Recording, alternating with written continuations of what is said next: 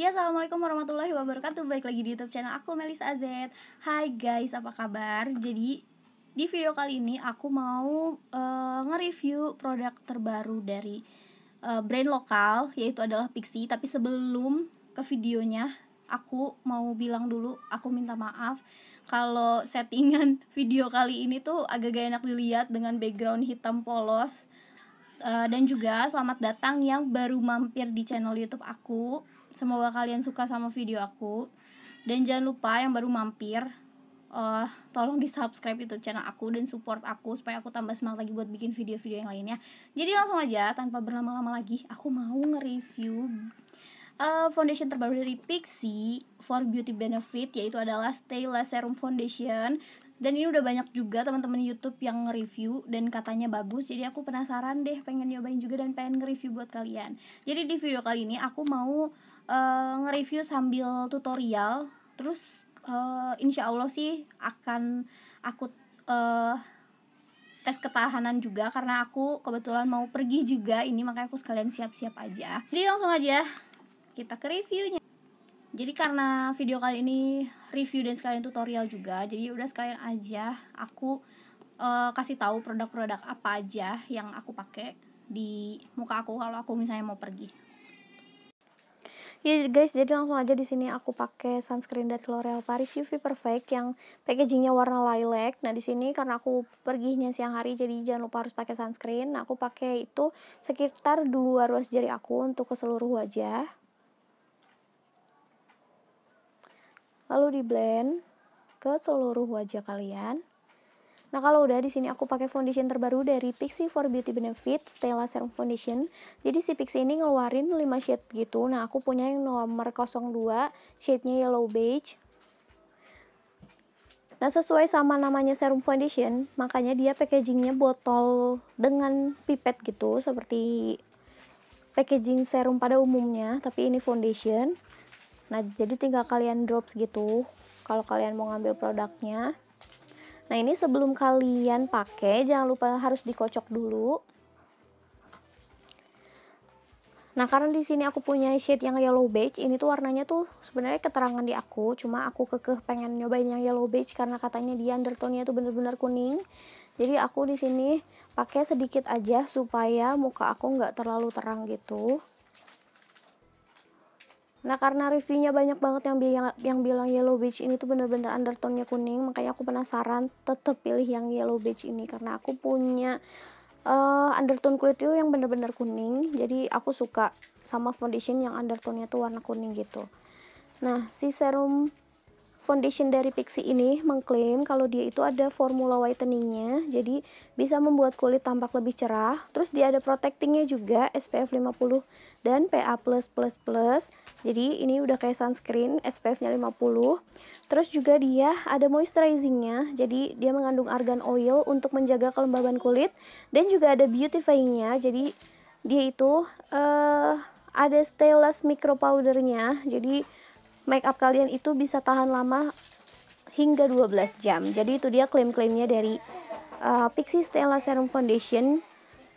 Nah ini aku blend ke seluruh wajah. Bisa kalian lihat ini tuh sebenarnya teksturnya cair banget, tapi setelah kalian blend itu bisa mengcover dengan segitu mudahnya. Pokoknya cover coveragenya tuh bener-bener adaan banget. Ini coveragenya adaan banget bisa kalian lihat. Jadi kayaknya tanpa perlu dipakein concealer pun ini sebenarnya udah cukup. Cuma karena aku pakainya ya tipis-tipis. Ini aku pakai tipis-tipis pun masih kelihatan lebih terang banget kan di muka aku. Tapi nanti ini bisa aku akalin pakai powder yang lebih gelap daripada warna foundationnya. Nah ini untuk disandingin ke kulit tangan aku yang sebelah kiri masih it's okay. Nah kalau udah uh, di sini aku coba pakai tisu. Aku tap ke wajah apakah dia masih transfer atau enggak foundationnya. Nah kalau udah di sini aku uh, set pakai loose powder dari Marks ke seluruh wajah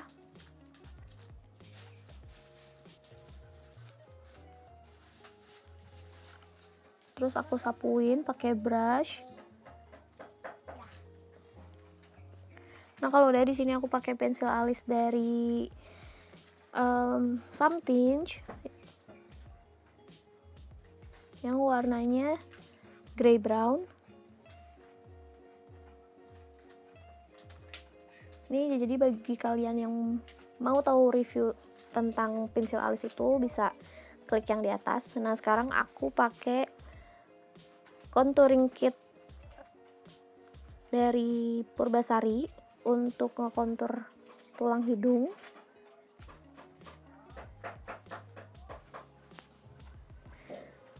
Dan untuk kontur pipi juga supaya mukanya lebih berdimensi nggak flat gitu karena foundation aku udah keputihan. Nah kalau udah di sini aku pakai blush on dari Emina yang shade-nya sugar cane. Ini lagi jadi favorit aku banget karena warnanya itu karena warnanya senatural itu. Nah di sini sekarang aku pakai compact powder dari Maybelline Fit Me yang shade-nya tuh nude kalau nggak salah. Nah ini tuh warnanya lebih gelap dari foundationnya. Aku tap-tap aja pakai brush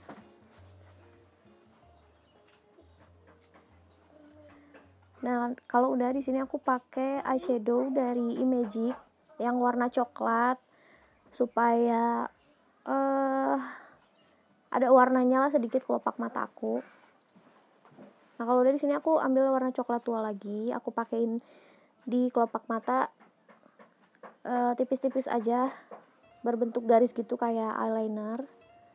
Nah, di sini kalau udah aku pakai maskara dari L'Oreal Paris Last Paradise.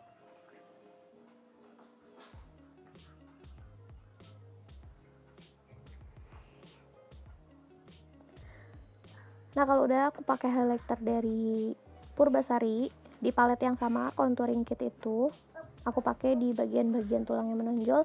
Dan aku pakai lipstick dari Pixie Matte in Love yang shade-nya ginger ale. Jadi ini base om ombre gitu.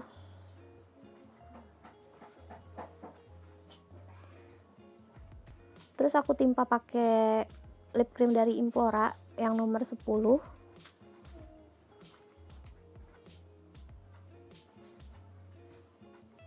nah kalau udah aku timpa lagi di tengah-tengahnya pakai lipstick im eh, lipstick lip cream Implora yang dark berry. Dan terakhir kita semprot pakai setting spray dari Studio Tropic yang flawless priming. Udah deh beres nih dia hasilnya. Aku pakai foundation dari Pixie Stella Serum Foundation. Nah sekarang aku bakalan ngasih tahu kesimpulannya menurut aku tentang si Pixie for Beauty Benefit Stella Serum Foundation. Ya sekarang aku pakai kacamata dulu. Karena aku tidak pakai soft lens. Nah aku tuh kalau ke mana-mana emang pakai kacamata. Nggak pernah pakai soft lens. Soalnya kayak soalnya kayak apa ya ribet gitu. Kalau misalnya keluar pakai soft lens tuh kayak nggak bisa lama-lama. Karena uh, cepet perih cepet kering matanya harus tetes apa gitu ribet. Jadi kalau pakai kacamata tinggal cuma tinggal pakai gitu doang udah gitu. Nah jadi langsung aja sekarang kita ke kesimpulannya. Jadi si pixie bagus lumayan uh, menurut aku tadi aku pakai sedikit aja tapi lumayan bisa untuk seluruh muka. Padahal dia cair banget tapi bener-bener uh, cukup gitu untuk ngecover muka aku gitu. Tuh walaupun imperfection itu masih kelihatan. Nih bisa kalian lihat ini bekas jerawat gitu hitam. Dan di sini juga ada beberapa ini imperfect. Masih kelihatan.